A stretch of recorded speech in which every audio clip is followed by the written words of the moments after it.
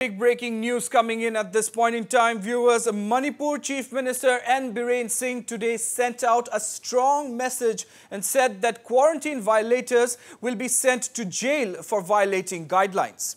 The move comes in the wake of recent incidents of violation of quarantine protocols in Thoubal and Churachandpur districts.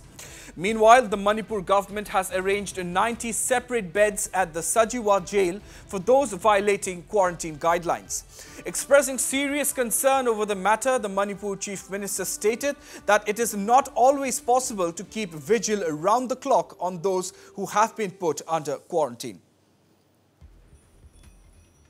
is very serious concern. I ngarang su da appeal quarantine center da lay ba sing discipline maintain to de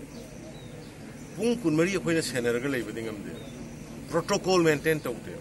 se suppose ki kaino gi da lay ri ba nang gi kangla tongbi gi da lay college university indira gandhi university da yu ji we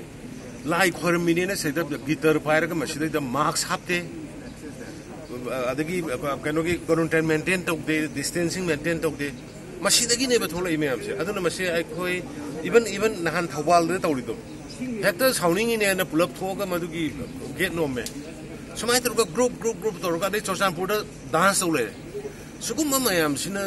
quarantine centre दे हेगलै now government decided हुजि jail हांगन ग्रे government न हुजि कनो दाई हुजि एडीजीपी कनो दोंगेल सजिवा जेल द नाइंटी मी